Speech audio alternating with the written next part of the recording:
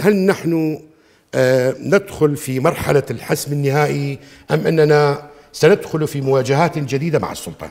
يعني بدأ تحياتي لك أستاذ نجم ولقاء يتجدد يمكن بعد سبعة أشهر تقريبا. كنا التقينا في بغداد في قلب بغداد والآن نلتقي في بغداد.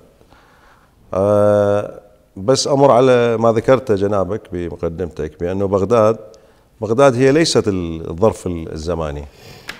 بغداد هي الظرف الوجودي. لا تتعلق بلحظة تكون قدمك في بغداد أو خارجها. بغداد هي تلك الذكريات الجميلة التي كنا نتخطى فيها في الصبا في, في أيام الشباب في, في أيام الجامعات تتخطى من باب المعظم إلى الكاظمية إلى الأعظمية إلى المنصور. كل هذه إلى الكرادة الشرقية كل هذه اللي تختزن في ذاكرة بغداد لا يستطيع الحقيقة أن ينساها وأن ابتعد عنها, عنها آلاف الكيلومترات. ولذلك التضحية لبغداد لا تعني شيء. إن كانت دماء أو وقت أو صحة أو مال تمام. أو أي شيء. لذلك بغداد تبقى هي بغداد رغم كل الهجمة العاتية اللي مرت عليها منذ 17 عام. لم تتكرر في التاريخ. لذلك تسأل أنت ماذا يحصل اليوم؟ اليوم هو ليس تجديد عهد وإنما هو الوثوق بالانتصار وهذا أكثر من تجديد العهد. تجديد العهد هو ما بين الثوار. وتجديد العهد هو مع القضية. يعني أنت اليوم لديك عهد مع رفاقك لديك عهدا مع قضيتك تجدد العهد. لكن اليوم تؤكد وثوقك من الانتصار رغم كل سلميتك وجراح الآخر والجراح التي أصيبت بها الحقيقة شبابنا وشاباتنا آه، والغل والغدر والخيانة والانحطاط الذي واجههم به الطرف الآخر بكل عناوينهم بدون استثناء. حكومية كانت ميليشياوية كانت عصبوية ليست حزبية بين قوسين عصبوية ماكو حزبية. مجموعة عصابه مشكلين لهم حزب ويمارسون هذا اللي يمارسوه اليوم وصلنا لهاي المحطة. ماذا بعد؟ يمكن سؤال كل الجماهير ويوميا يسألونه من خلال يعني التويتر ال social media مقابلاتنا التلفزيونية. القادم هو انتصار عراقي.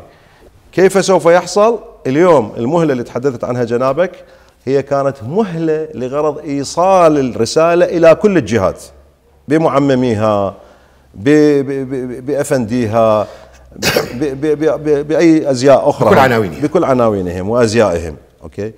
أنه القرار هو قرار الشعب. خلاص انتهى الأمر. كيف سوف يترجم قرار الشعب؟ عندنا طريقين. عندنا طريقين. أما أن يستجيب السيد رئيس الجمهورية لإرادة الشعب من خلال ما أصر عليه كل الثوار وما أوضحناه منذ اليوم الأول أنه هناك ليس شخص هنالك مواصفات لشخص. وهذه تنطبق على آلاف آلاف الرجال في العراق. هسه راح يقول لي شو راح يختار؟ هو المجس عنده وهو الأمانة عنده. والمواصفات يمه. والمواصفات يمه والأمانة التاريخية يمه. تمام. وهذه وأنا كما ذكرت لك في مقابلة يمكن هاتفية كانت انترفيو وياك بالتليفون قلت لك وذكرتها في كثير من وسائل الإعلام أنه العراق عبارة عن غرفة مليئة بالغاز مغلقة والمقدح بيد رئيس الجمهورية. واليوم دمر بنفس اللحظة. سجل موقف هو الشعب ارتاح من عنده عندما ضغطت عليه الأحزاب ووصلت للتهديد معه. حق وتتذكر القصة قبل عملية السفارة واقتحام السفارة. أه وتصرف وما استجاب للأحزاب. الآن نقول استجيب للشعب. مرة نتحدث قبل رأس السنة قبل 2020 تتذكر جنابك صار عليه ضغوط أنه يمرر أحد المرشحين ثلاث مرشحين كانوا واخر مرشح توقف به الرجل. هناك أنت ما استجابت ما استجابت للأحزاب؟ الآن استجيب للشعب. جيب شخصية أمنية جيب شخصية عسكرية جيب شخصية مدنية. عندك هاي المواصفات؟ كما يقال ولديك أمانة تاريخية زين ووطنية عليك أن تحسن